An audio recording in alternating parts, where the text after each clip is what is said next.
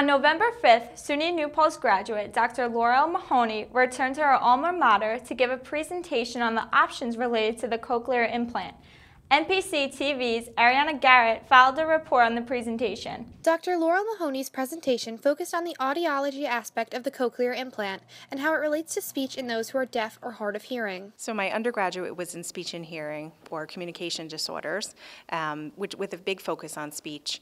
Took a few classes in audiology, which I loved, and then when I went out to start working as a speech therapist, I worked with um, some children who wore hearing aids, um, and I enjoyed that, and I was ready to pursue a master's in audiology. A cochlear implant is a surgically implanted device that stimulates hearing in a deaf person. Dr. Mahoney described how since the first cochlear implant in 1984, there have been nearly 100,000 in the United States to date. I think communication disorder students should know about cochlear implants because it's something that they may encounter in the future.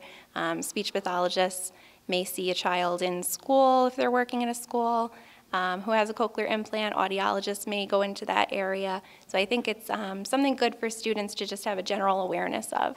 Many have questioned whether the hearing community should be aware or have a say regarding issues within the deaf community. However, Mahoney wanted to make it clear that a cochlear implant is just an option to connect between both hearing and deaf worlds. I got interested in deaf studies when I studied abroad in Ethiopia through the Communication Disorders program.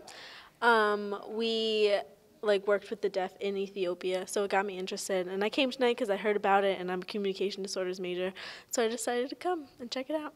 Within both the deaf and hearing communities, the cochlear implant can be seen as a controversial topic. Dr. Laura Mahoney came to SUNY New Paltz in hopes of raising awareness on the options and issues related. Reporting from the Lecture Center, Ariana Garrett, NPC TV.